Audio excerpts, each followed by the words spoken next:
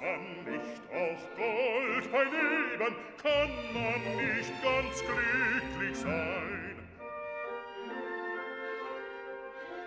Traurig schleppt sich fort das Leben, mancher Kummer stellt sich ein, mancher Kummer stellt sich ein.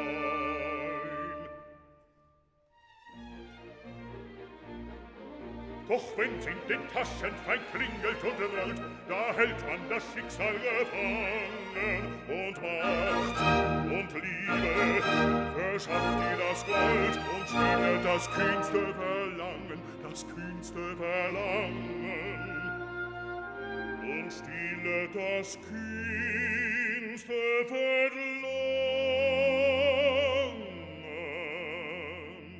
Das Glück dient wie ein Knecht sollt, es ist ein schönes, schönes Ding das Gold, das Gold. Es ist ein schönes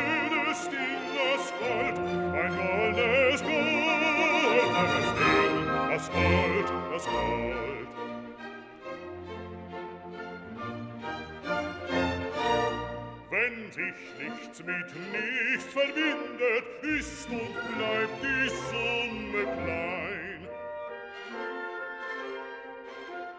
Wer bei Tisch nur Liebe findet, wird nach Tische hungrig sein, wird nach Tische hungrig sein.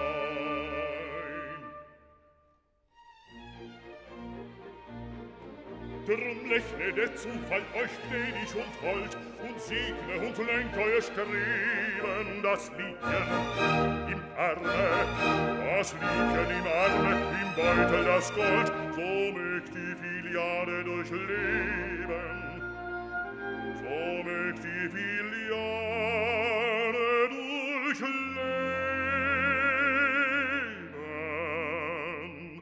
Das Glück dient wie ein Knecht für Sold, es ist ein mächtig, mächtig Ding, das Gold, das Gold. Es ist ein mächtig Ding, das Gold, ein mächtig, mächtig Ding, das Gold, das Gold.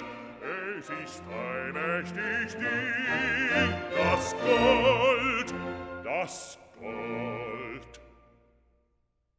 Ihr könnt das leicht sagen, Meister Rocco, aber ich, ich behaupte, dass die Vereinigung zweier gleichgestimmter Herzen die Quelle des wahren ehelichen Glückes ist.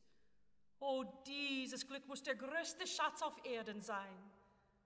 Freilich gibt es noch etwas, was mir nicht weniger kostbar sein würde. Und was wäre denn das? Euer Vertrauen. Oft sehe ich euch aus den unterirdischen Gewölben dieses Schlosses ganz außer Atem zurückkommen. Warum erlaubt ihr mir nicht, euch dahin zu begleiten? Du weißt doch, dass ich den strengsten Befehl habe, niemanden, wer es auch sein mag, zu den Staatsgefangenen zu lassen. Du arbeitest dich ja zu Tode, lieber Vater. Tja, ihr habt recht. Diese schwere Arbeit würde mir doch endlich zu viel werden. Der Gouverneur ist zwar sehr streng, Er muss mir aber doch erlauben, dich in die geheimen Kerker mit mir zu nehmen. Auch gibt es ein Gewölbe, in das ich dich wohl nie werde führen dürfen, obschon ich mich ganz auf dich verlassen kann. Vermutlich, wo der Gefangene sitzt, von dem du schon einige Male gesprochen hast? Du hast erraten. Ich glaube, es ist schon lange her, dass er gefangen ist. Es ist schon über zwei Jahre. Zwei Jahre? Zwei Jahre, sagt ihr? Er muss ein großer Verbrecher sein. Oder er muss große Feinde haben. Das kommt ungefähr auf eins heraus. Nun, es kann nicht mehr lange mit ihm dauern. Seit einem Monat schon muss ich auf Pizarros Befehl seine Portion immer kleiner machen. Jetzt hat er binnen 24 Stunden nicht mehr als zwei Unzen schwarzes Brot, ein Halbmaß Wasser, kein Licht. Stroh. Nichts. O, liebe Vater, führe Fidelio ja nicht zu ihm. Diesen Anblick könnte er nicht ertragen. Warum denn nicht? Ich habe Mut und Kraft.